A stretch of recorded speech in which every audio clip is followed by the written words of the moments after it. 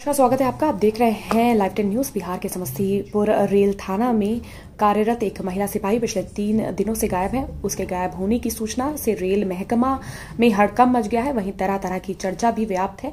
महिला सिपाही के बिना कोई सूचना के ड्यूटी से गायब होने के बाद रेल थानाध्यक्ष रंजीत कुमार ने मुजफ्फरनगर मुजफ्फरपुर रेल एसपी से रिपोर्ट की, जिसमें महिला सिपाही को ड्यूटी से फरार बताया गया। इसे गंभीरता से लेते हुए मुजफ्फरपुर रेल एसपी अशोक कुमार सिंह ने तत्काल प्रभाव से उक्त महिला सिपाही को निलंबित कर दिया है। एसपी ने बताया कि ड्यूटी से बिना किसी सूचना के फरार होना गंभीर मामला है। लापरवाही एवं अनुशासनहीनता का मामला किसी भी स्तर पर बर्दाश्त नहीं किया जाएगा।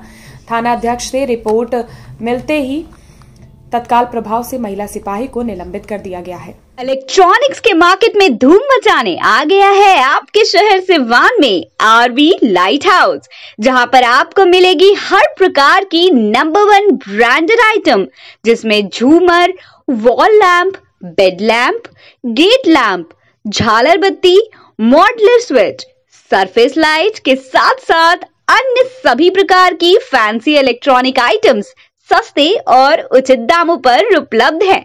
तो फिर देर किस बात की? आज ही आइए आरबी लाइट हाउस बड़ी मस्जिद के पीछे, कागज़ी मोहल्ला रोड, सिवान। हमारा संपर्क नंबर है सात शून्य नौ एक तीन एक आठ चार पाँच पाँच।